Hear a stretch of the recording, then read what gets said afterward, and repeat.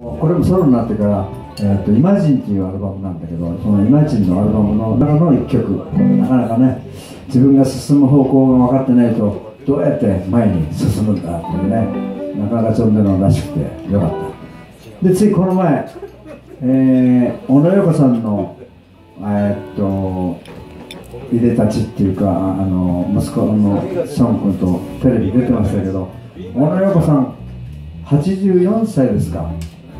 もうあのー、かなりのおばあちゃんなってないかな。まだ元気かな。それで見た人いますか？小野子さんのドキュメント、ま、見た？見ました、ええ、サングラスこうやってこう先下げてるの知ってます？こうやって眼鏡あんないらいらないんじゃない、うん、これね。なんかイライラするね。はい。その陽子さんの影響が強く、えー、残ってるっていうのがこの「イマジン」っていうあのアルバムなんですけどその中の一曲です「ハウっていう曲。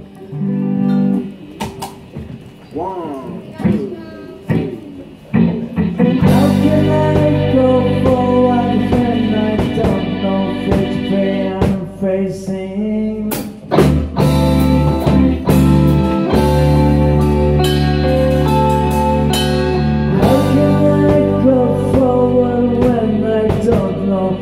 afraid